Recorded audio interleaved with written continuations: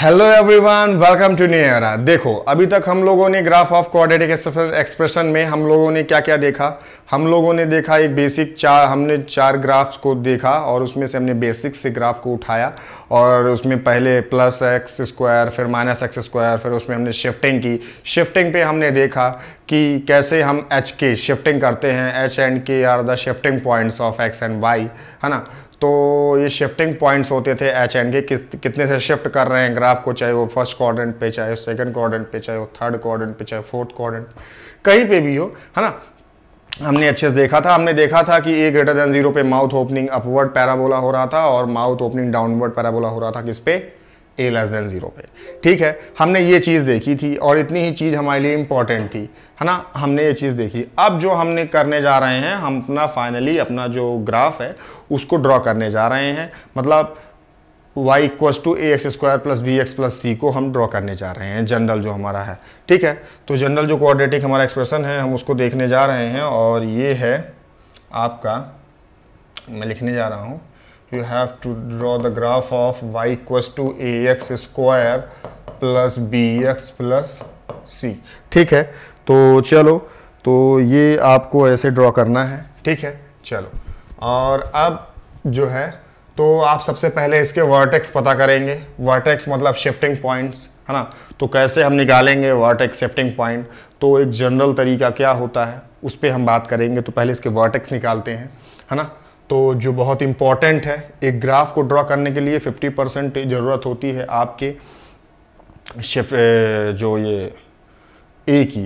ए positive है कि negative है, ये मालूम होना चाहिए, इसका 50 परसेंट रोल होता है और 50 परसेंट रोल होता है आपके वर्टेक्स का, क्योंकि वर्टेक्स मालूम रहती है तो आप उसी के फिर अलॉन्ग आप बनाते हैं ग्राफ को ड्रॉ करते हैं, ठीक है?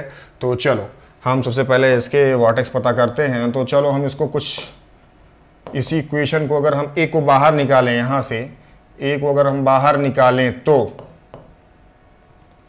यहाँ पे बोले एक्स स्क्वायर प्लस ठीक है? तो यहाँ पे बी अपॉन ए आएगा। तो बी अपॉन ए आएगा तो अगर टू से मल्टीप्लाई कर दें, और यहाँ पे मैं लिखूं B upon two A into two A है ना? टू ए और एक्स ऐसे लिखूं। तो कुछ खराबी है क्या? कुछ खराबी है क्या? कुछ खराबी नहीं है क्योंकि टू से टू कैंसिल हो जाएगा और बी अपॉन ए मिलेगा, है ना? और ए को तो हम बाहर निकाल रहे हैं, इसीलिए अपॉन में ए आ रहा। प्लस प्लस यहाँ पे अगर हम चाहें तो B square upon four A square four A square से प्लस माइनस कर दें। B square upon four A square है ना? मैं ऐसा लिख सकता हूँ, ऐसा लिख सकता हूँ। ऐसे लिखने की मुझे इजाज़त है, क्योंकि ये दोनों कट के ज़ीरो हो रहे हैं। तो इसको मैं ऐसे अभी लिख ले रहा हूँ, क्योंकि हमको एक फार्मूला बनाना है एक आइडेंटिटी बनानी है, ठीक है?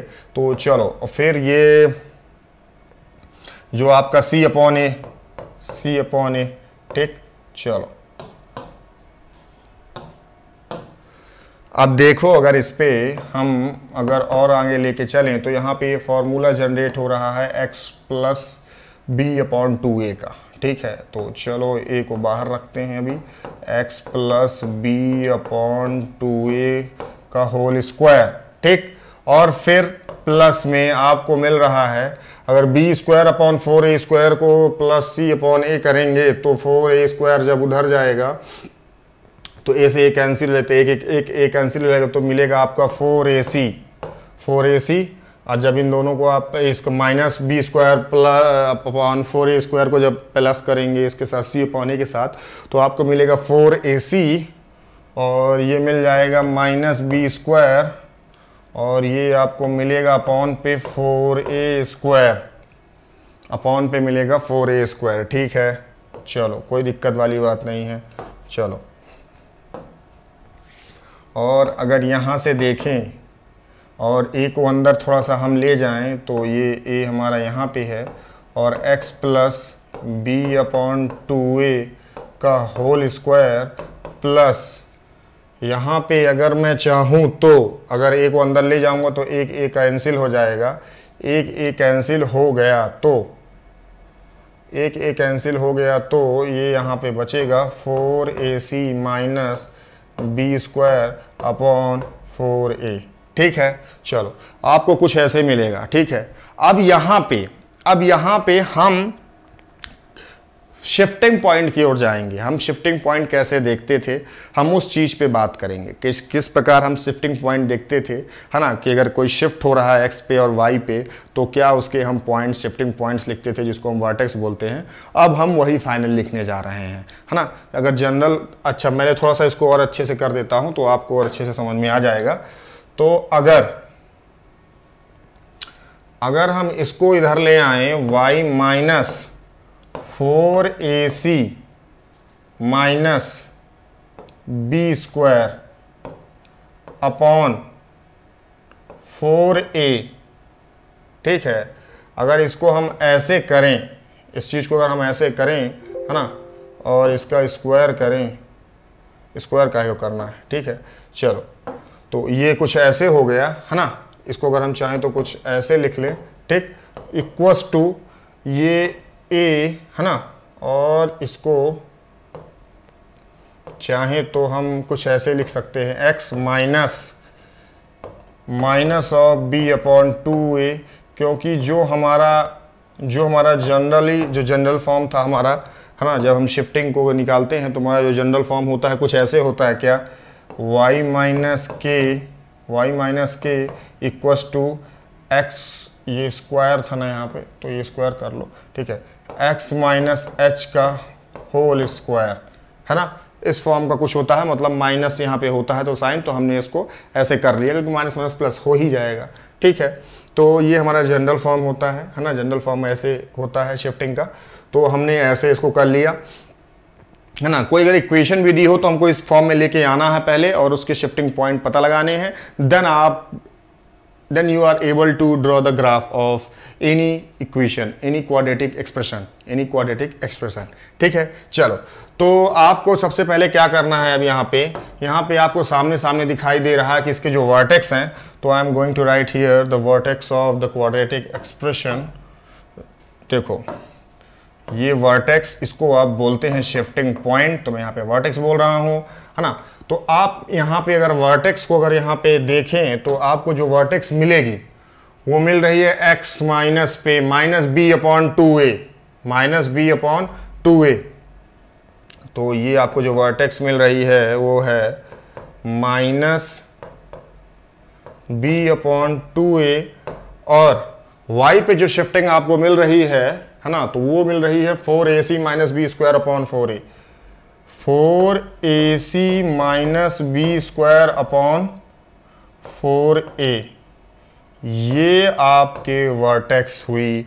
वेरी वेरी इंपॉर्टेंट बहुत ज़्यादा इंपॉर्टेंट है। ये आपको मालूम होना चाहिए। ये आपको मालूम होना चाहिए। तभी आप क्वाड्रेटिक एक्सप्रेशन के ग्राफ में अपनी पकड़ बना पाएँगे। ठीक है? तो ये आपको मालूम होना चाहिए दिस इज़ द वर्टेक्स है ना? अच्छा किताबों में कुछ ऐसे भी दिया होता है इसको? इस वर्टेक्स को किताबों में कुछ ऐसे भी दिया होता है। इस पॉइंट को वर्टेक्स को कुछ किताबों में, और आप ऐसे भी बोल सकते हैं minus B upon two A और ये बेसिकली है क्या? अगर इसका माइनस साइन बाहर निकाल दो तो ये डिस्क्रिमिनेंट है है ना? तो ये minus D upon four A. तो ये है, जो आप सुनते आ रहे हैं, देखते आ रहे हैं, वो चीज़ ये है है ना? उसको हमने ऐसे निकाला शिफ्टिंग पॉइंट से, हमने जनरल तरीके से, है ना? शिफ्टिंग पॉइंट से कंपेयर किया और एच और के जो पॉइंट्स आए तो अब आप किसी भी इक्वेशन को डायरेक्टली ड्रॉ कर सकते हैं यहाँ से। अब किसी भी, आप किसी भी एक्सप्रेशन को, किसी भी क्वाड्रेटिक एक्सप्रेशन को यहाँ से डायरेक्टली ड्रॉ कर सकते हैं। डायरेक्टली किसी भी क्वाड्रेटिक का ग्राफ आप यहाँ से बना सकते हैं। ठीक है? तो अब हमने यहाँ पे क्या देखा? हमने यहाँ पे कुछ ज़्यादा नहीं देखा। हमने जो देखा, वो यही देखा कि इसके जो वर्टेक्स आए, है ना, वो आए minus B upon two A minus D upon four A है ना? और ये बहुत इंपॉर्टेंट है है ना? फाइव स्टार लगा लो, इसको रट्टा मार लो। इसको रट लो रट लो रट लो। Minus B upon two A minus B upon two A minus D upon four A है ना? Minus D upon four A है ना? तो इसको आप रट लीजिए। इसको आप रट लीजिए। बहुत ज़्यादा इंपॉर्टेंट है है ना? ये बहुत ज़्यादा इंपॉर्टेंट है।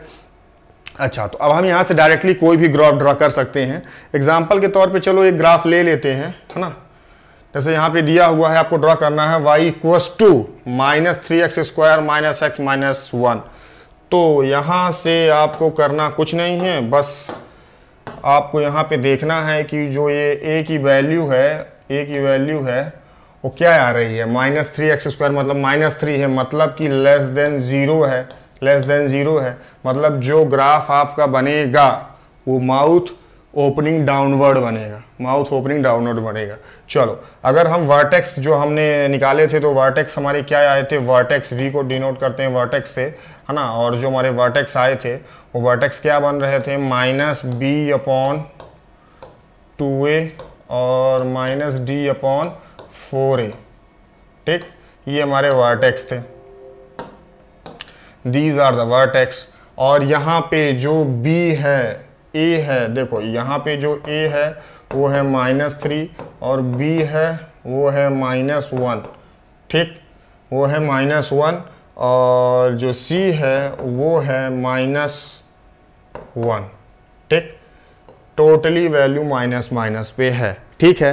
तो अब आपको यहाँ पे क्या करना है, यहाँ पे क्या करना है आपको? रख देना है इस पर तो जब रख दोगे वर्टेक्स पे वर्टेक्स पे रख दोगे तो रख देते हैं, इसका वर्टेक्स निकल आएगा।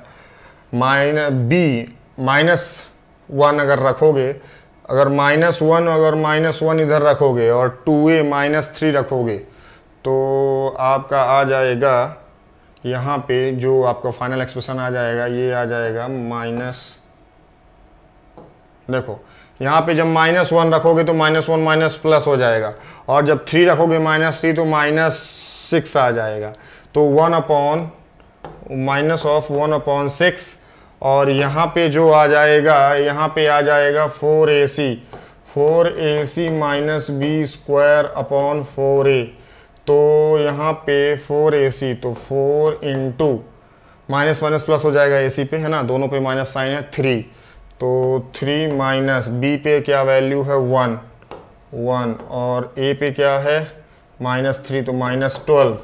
Minus twelve. तो मतलब कि आपको जो वैल्यू मिलेगी फोर थ्री जो ट्वेल्व माइनस वन मतलब eleven minus eleven upon twelve minus eleven upon twelve आपको जो वैल्यू मिलेगी। ठीक है? तो चलो माइनस इलेवन अपॉन ट्वेल्व जो आपको यहाँ से वैल्यू मिलेगी। ठीक है? तो चलो, यहाँ पे हम इसको ड्रॉ करने जा रहे हैं। इसको हम ड्रॉ करने जा रहे हैं। है ना? इसको हम ड्रॉ करने जा रहे हैं। B equals two minus one ठीक है। बी माइनस वन था। ए माइनस थ्री था। सी माइनस वन है है ना? वैल्यू बरोबर पुट किए ना हम लोग। चलो, ठीक है। माइनस वन अपॉन सिक्स और माइनस इलेवन अपॉन ट्वेल्व है ना? तो ये हमको मिला माइनस इलेवन अपॉन ट्वेल्व मतलब हमको फोर्थ क्वाड्रेंट थर्ड क्वाड्रेंट पे जाना पड़ेगा। मतलब थर्ड क्वाड्रेंट पे हमको जाना पड़ेगा, ये तो कंफर्म बात है है ना? थर्ड क्वाड्रेंट पे जाना पड़ेगा, ये तो कंफर्म बात है। और थर्ड क्वाड्रेंट हमारा कुछ ये हो गया, ठीक? ये हो गया थर्ड क्वाड्रेंट ना? माइनस माइनस से दोनों, ठीक है? तो कुछ यहाँ पे होगा माइनस इलेवन बाई ट्वेल्व और माइनस वन अपॉन सिक्स आपका कुछ यहाँ पे बनेंगे, है ना? तो ये मैं एक रफ स्केच ड्रॉ कर रहा हूँ minus one upon six minus one eleven by twelve ठीक? ये हम रफ स्केच ड्रॉ कर रहे हैं यहाँ पे। ठीक है। तो चलो। और यहाँ पे एक चीज़ देखो। यहाँ पे ए की value less than mine less than zero है। ए की वैल्यू लेस देन ज़ीरो है मतलब जो माउथ ओपनिंग जो होगी आपके पैराबोला की वो डाउनवर्ड होगी, ठीक है? तो अगर इसका रफ स्केच अगर हम देखना चाहें तो रफ स्केच हमारा कुछ, हमारा ग्राफ कुछ ऐसे बनेगा। ठीक? कुछ ऐसे बनेगा। ये हमारा ये हमारा मेन पॉइंट है, ठीक है? तो चलो तो ये हमारा वर्टेक्स पे हमने इसको ड्रॉ कर दिया, ठीक है? ये हमारा ग्राफ बन गया। अच्छा बहुत लोगों के माइंड में आ रहा होगा, सर, ये पॉइंट निकाल सकते हैं क्या? ये पॉइंट निकाल सकते हैं क्या? बिल्कुल निकाल सकते हो भाई, बिल्कुल निकाल सकते हो। कैसे? ये पॉइंट किस पे है? वाई एक्सेस पे है। ये point this is your this is Y axis and this is X axis ठीक है? तो ये वाई एक्सिस पे ये पॉइंट है तो यहाँ से आप बिल्कुल निकाल सकते हो। क्या निकाल सकते हो कि वाई एक्सिस पे एक्स ज़ीरो होगा। वाई एक्सिस पे एक्स ज़ीरो होगा तो यहाँ पे पुट कर दो। वाई एक्सिस पे एक्स ज़ीरो तो जब वाई एक्सिस पे अगर एक्स ज़ीरो होगा तो आपको इसके पॉइंट निकल आएगा। ज़ीरो पुट कर दो तो ये ज़ीरो ज़ीरो तो यहाँ से जो आपको वैल्यू मिलेगी वाई की, वो मिलेगी माइनस वन मतलब कि आपका यहाँ पॉइंट निकल आया और पॉइंट क्या हो गया? Minus zero minus one zero minus one आपका जो पॉइंट निकल के आया, वो ज़ीरो माइनस वन हो गया। ठीक है? चलो। इतनी बात आप लोग के समझ में आ गई। ठीक है? चलो। तो ये आपका फाइनली आप कोई भी ग्राफ ड्रॉ कर सकते हैं, है ना? कोई भी ग्राफ ड्रॉ कर सकते हैं क्वाड्रेटिक एक्सप्रेशन का दिया हुआ है। तो आप सिंपली उसका वर्टेक्स निकालेंगे, उसका वर्टेक्स निकालेंगे, है ना? वर्टेक्स को आप minus B upon two A और minus D upon four A से संबोधित करेंगे, है ना? मतलब यही आपका वर्टेक्स है। ये बहुत इंपॉर्टेंट है ये पॉइंट जो मैंने आपको बताया है। ये बहुत इंपॉर्टेंट है वर्टेक्स आपको मालूम होना चाहिए। और आपको सिंपल सा मालूम होना चाहिए A less than zero A greater than zero mouth opening upward mouth opening downward इसके बारे में आपको आइडिया होना चाहिए, आपको वर्टेक्स निकालते आना चाहिए, बस। वर्टेक्स बोले तो शिफ्टिंग पॉइंट ये निकालते आना चाहिए, बस। और कुछ नहीं, आप कोई भी ग्राफ ड्रॉ कर सकते हैं। ठीक है? चलो। तो अब नेक्स्ट लेक्चर में हम और चीज़ों को इसमें बढ़ेंगे, है ना? और चीज़ों को समझेंगे अच्छे से, है ना? और भी जो इसके पॉइंट्स हैं उनको समझेंगे और देन क्वेश्चन करेंगे, ठीक है? तो कैसी लगी वीडियो? आप वीडियो को लाइक कीजिए शेयर कीजिए, इस चैनल को सब्सक्राइब कीजिए, है ना? और जो भी आपके क्वेरीज़ हों, है ना? उनको कमेंट कीजिए, है ना? डेफिनेटली उसका आंसर दिया जाएगा। So thank you